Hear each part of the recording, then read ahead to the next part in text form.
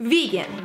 Supreme Banana, aka Cami Payton, is taking the vegan world by storm. This plant based YouTuber has gained quite a following for keeping it real. As you can see, it's rather big. That's what he said. I don't even know if I can put my mouth around it. Are there any more steps? I really hope not. From her food reviews. Mm -mm. Okay, here's the thing. I'm not gonna lie, Domino's. Your buffalo sauce is not up to par. To her recipe remakes. Here is the moment we've been waiting for. Cheers.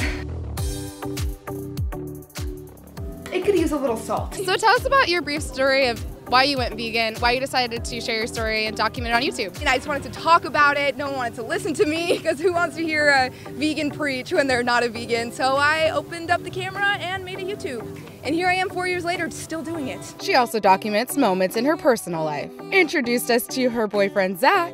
I love you too. Made announcements. I am on antidepressants. And kept it real when she came clean about a past eating disorder. All I could think about when I was at school was getting home and puking.